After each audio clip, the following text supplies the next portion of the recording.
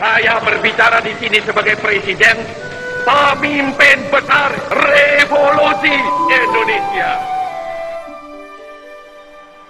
Assalamualaikum warahmatullahi wabarakatuh.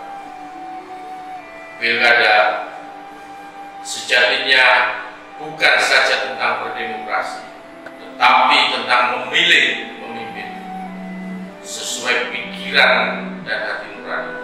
Selain diyakini membawa kemajuan, kemaslahatan, dan kesejahteraan, pemimpin juga harus punya visi dan misi yang logis dan logis.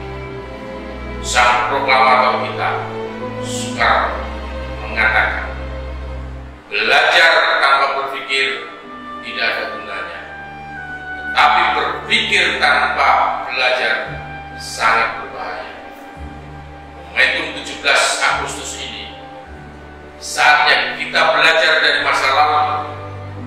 berpikir menjadikan Jember lebih baik lagi.